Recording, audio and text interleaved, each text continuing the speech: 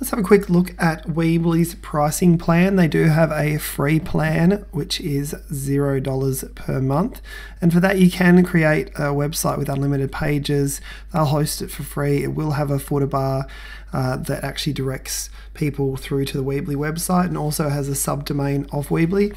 Then you can have a starter website for $8 per month, which gives you a one year free domain name, but you will have to pay for the renewal on that. Uh, that'll take away that Weebly branding. You won't have to have their custom domain name, and you'll get some extra um, site statistics. The next one along the line is the pro subscription, one year domain free, $12 per month. That's if you're looking for a little bit more multimedia site search and being able to have a password protected area for members. Finally, a business website, $25 per month. That's if you want to have um, some e commerce features available. Also gives you the ability to have people sign up and get into your membership site. Whereas with the Pro one, um, that's where you're going to have to um, add manually add in those members yourself. So that's a quick look at the Weebly pricing from $0 per month through to $25 per month.